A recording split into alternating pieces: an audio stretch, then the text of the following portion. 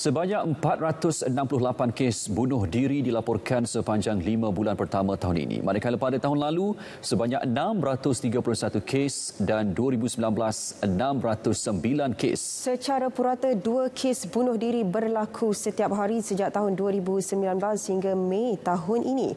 Menurut kenyataan Pengarah Jabatan Siasatan Jenayah PDRM, Datuk Seri Abdul Jalil Hassan, secara keseluruhan untuk tempoh 2019 hingga Mei 2021, 1,427 orang membabitkan wanita dan 281 orang membabitkan lelaki. Tiga faktor utama penyebab kejadian bunuh diri berpunca daripada masalah keluarga, tekanan perasaan dan kewangan.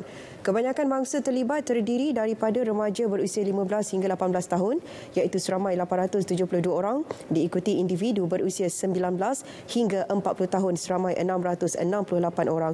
Polis menasihatkan semua pihak memainkan peranan bagi membendung gejala tersebut.